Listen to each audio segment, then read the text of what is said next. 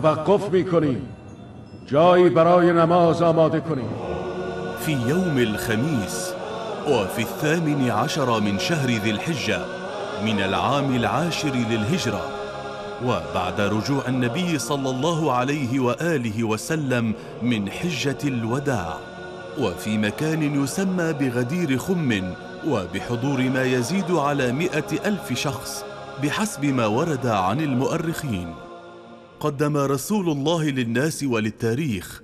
شخصا تجلت فيه كل المعايير الإسلامية وكل المؤهلات العلمية والقيادية. یا علی تسلیم منو علی را فرا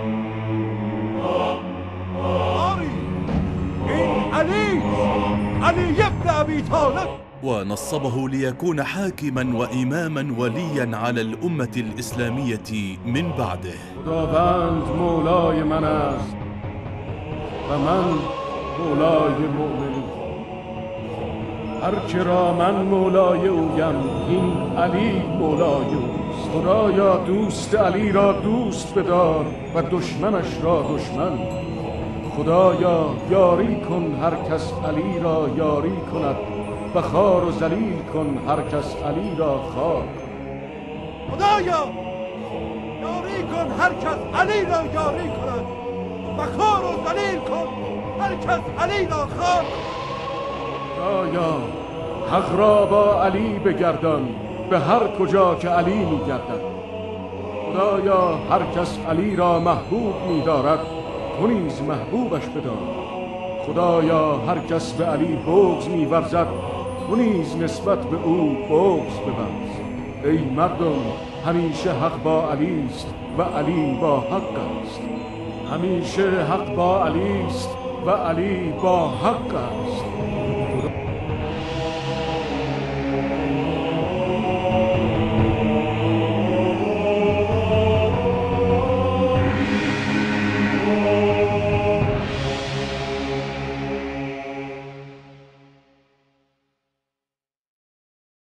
Soon after this an incident, a person by the name of Al Harith ibn Nu'man al Fihri he came to the Prophet when the Prophet was in the area of Al Abtah. He was very frustrated. He said, Ya Muhammad, you asked us to pray and we did. You asked us to fast, we did. To give charity and we did to come to Hajj pilgrimage, we did. That was not enough for you. It was not satisfactory for you until you hold the hand of your, the arm of your cousin. فأمرته علينا and you make him an emir upon us, over us. أفهذا منك أم من الله?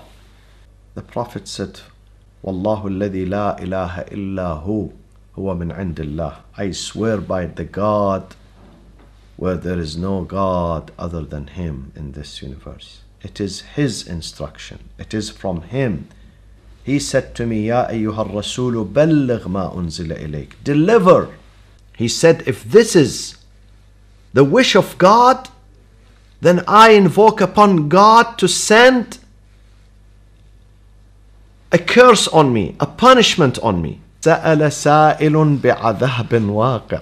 He said, he asked punishment for himself. This is in Surah Al-Ma'arij. Immediately a stone comes, penetrates his head, comes out of his back. Instantly, he falls down and he dies. خدایا دوست بدار هر که علی را دوست بدار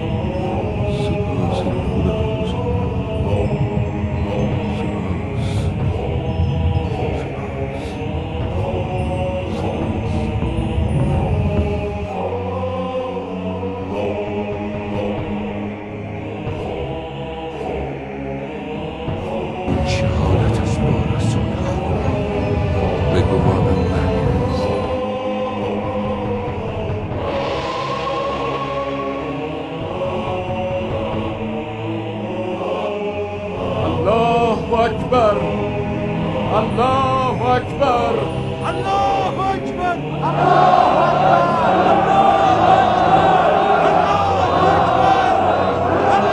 اکبر این سخن خداوند است که همین اکنون به من وحی آمد. امروز دین شما را برای شما کامل کردم و نعمت خود را بر شما تمام گردانیدم. و راضی شدم که این اسلام کامل شده.